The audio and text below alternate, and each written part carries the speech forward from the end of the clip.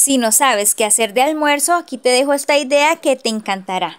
Para este plato necesitamos papa cocida sin cáscara y cortada en pedazos, lo mismo que dos huevos cocidos. Seguimos con zanahoria en cuadros y arveja cocidas. Cebolla cabezona picada, esta sí está cruda.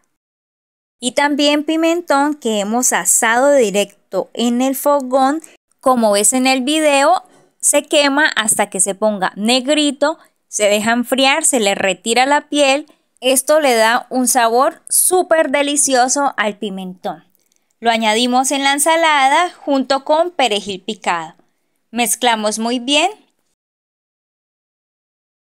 y agregamos sal, pimienta y de salsa agrego mostanesa, que es una combinación entre mayonesa y mostaza.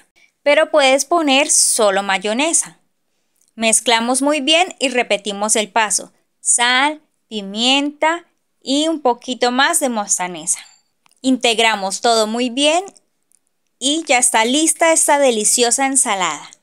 Espero te haya gustado esta receta y te sirva como idea para tu almuerzo. Escríbenos en un comentario qué tal te ha parecido y nos vemos en una próxima receta.